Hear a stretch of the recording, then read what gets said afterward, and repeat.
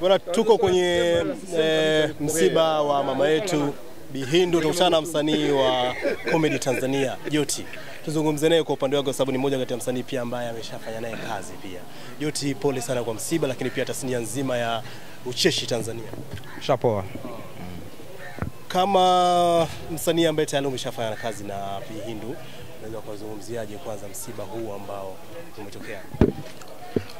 Uh, kwetu sisi tumepokea kimasikitiko makubwa uh, lakini pia Bihindu, mimi kufanya naye kazi, tumefanya naye kazi kipindi kile ambacho uh, wao wanakumbuka wako Kaole na sisi tuko, tuko, tuko mambo hayo, na huko ndio ilikuwa ni sehemu kubwa ambayo tunakuwa tunakutana. Kwa hiyo tulikuwa ni wale ambao tunafanya uh, tuseme, tunasema tunafanya bato, yani kwamba Kaole wakifanya jambo wiki hii basi na sisi tutapambana mambo hayo kufanya jambo wiki hii, lakini ni, ni, ni, ni bibi yetu ambaye nasema alitutangulia. Mimi nilikuwa namwangalia kwenye TV mpaka tukaanza kufanya kazi pamoja, tumekuwa wote. Kwa hiyo nasema ni, ni, ni mama yetu, ni bibi yetu ambaye tumefanya naye kazi kitambo sana na mpaka leo Mwenyezi Mungu amemchukua.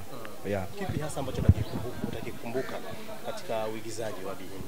Ah, vingi kwa sababu pia ame, ame, ame, ame, amefanya hata mimi kuinspire kwenye zile sekta za, za wamama waongeaji, na ndio hata mimi hii karakta yangu ya Kiboga huwa baadhi vitu fulani wanachukuaga kwake kwa sababu ya ukongwe na uzoefu ambao alikuwa nao.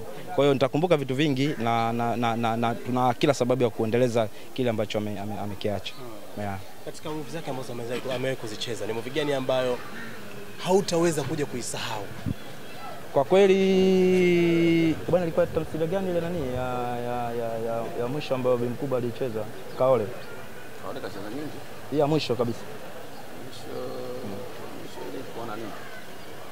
Zipo nyingi na ndio maana sikumbuki, zipo nyingi sana, lakini kiufupi tu naweza nikasema kwamba hatutoweza kumsahau, lakini pia hata pengo lake litozibika kwa sababu ana, ana, ana, ana, ana sanaa peke yake.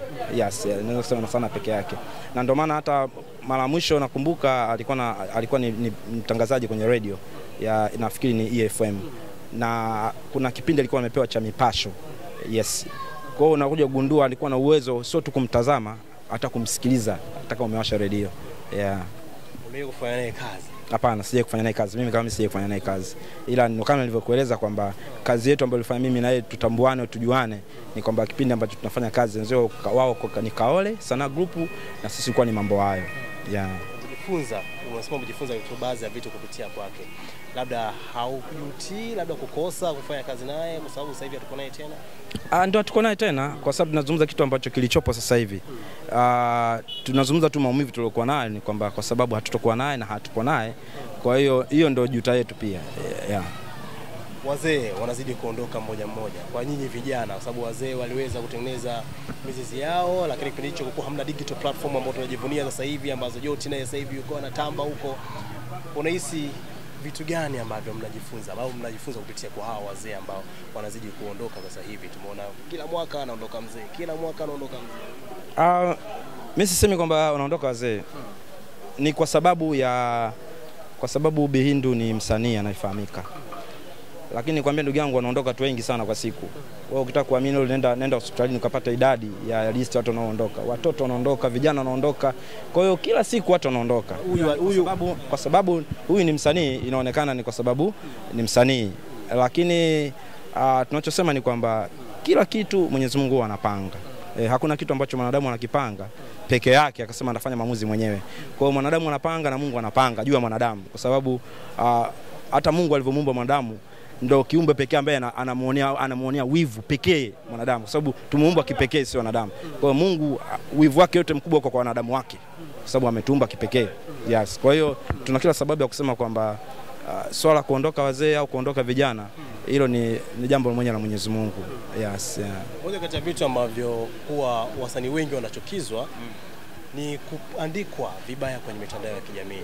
Bi Hindu ni moja kati ya msanii pia ambaye aliye kuandikwa vibaya miaka minne mitatu kwenye mitandao ya kijamii, na Joti huwa anapinga sana hayo mambo ya kuandikwa vibaya. Sasa kuzushiwa vifo, Bi Hindu ameuliwa hii mara ya kwanza, hii mara ya pili.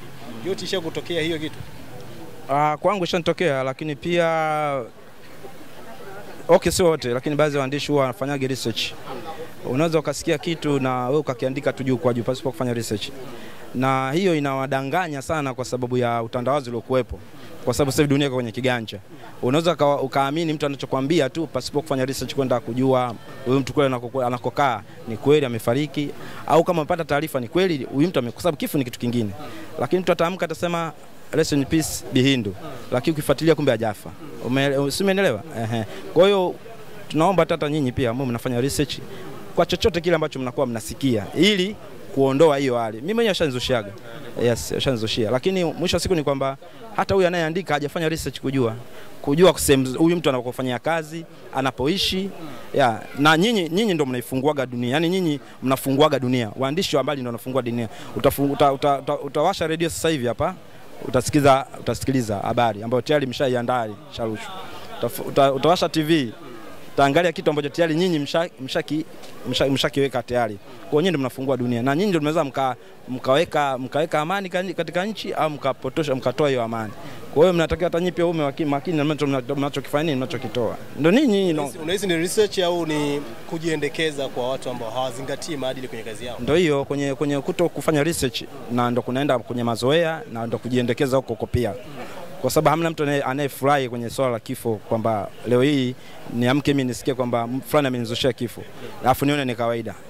Huwa mnawaumizaga watu ambao pengine nasubutu kusema hamjui ni namna gani mnawaumiza. Inawezekana sio wewe, ila kwenye tabaka lenu la waandishi inawezekana kuna watu ndio tabia yao. E, vitu vingi tu vinazushwa. Sasa mtu unamsingizia una Senga, unamsingizia Senga kafa ana majukumu na watu wanamtegemea kibao, unamzushia kafa ya nini? Inasaidia nini? Joti ni mmoja kwa msanii ambaye anakataa sana interview, anakimbia sana waandishi wa habari. Kwa nini? Uh, kikweli ni kweli nawakimbiaga waandishi habari, Simu upokee. Eh, natoa appointment alafu kesho yake simu sipokei na nawakimbia waandishi habari kwa sababu nakuwa nawapa content. Kwa hiyo ampambane, pambaneni kutafuta content e, limeisha hilo, pambaneni kutafuta content. Yani content sio kumpigia mtu simu, tafuta, ingia chaka, ndio na bei aingie chaka. Yeah. Mimi- mimi- eh, mimi ndo content yenyewe sasa. Eh, Ukinitaka mimi mwenye content ambayo pia inazalisha mipango. Kwa hiyo ni kwa nini kuzalisha hiyo mipango? Alafu mimi naishije? Unamsindikiza mzee kwa utajiri. Eh, haiwezekani. Tunaenda wote. Yeah. Okay, moja kati ya msanii pia ambao unahuzulia sana sana matatizo misiba, wewe ni moja wapo. Mm. Kwenye msiba wa mzee Jengua tulikuwa wote, leo tuko hapa misiba tofauti tofauti. Yeah. Wapo wengine ambao hawahudhurii. Yote yana nini cha tofauti na wasanii wengine, na ndio maana unaonekana kwa matukio mengi mengi sana ya wasanii wenzako. Ah, mimi niko tofauti, ni msanii lakini niko tofauti na wasanii wengine. Kuna baadhi ya vitu kikweli ninaweza nikasema kama hakinipi faida siwezi, siwezi kwenda. Lakini pia sio mimi tu, kwa sababu ya aina ya kazi yangu ina usimamizi pia, yeah, sio kwa sema kwenda kwenda. Lakini naposema masuala ya misiba, ndio anasema kwamba msiba au kifo ni ibada. Eh, unaweza muda mwingine ukasema kwamba unaacha shughuli zako zote unakwenda ku, ku, ku, kumsindikiza mtu kwenye maisha yake ya milele. Ni ibada tosha. Yes. Kwa hiyo unaangalia vile vitu ambavyo vina muhimu. Yes. Na ndio maana unakuta wana baadhi ya shughuli au jambo zikunikuta ni kwa sababu ya niko tofauti na wengine, lakini kuna vitu kama hivi vya msiba, ugonjwa, hivyo huwezi kuchomoka kwa sababu kote huko tutaelekea. Yeah. Wengine hawatokei lakini kwenye misiba. Hao wengine ambao unawajua wewe nao watafute wewe, waulize wewe, dili na mimi pamoja sana.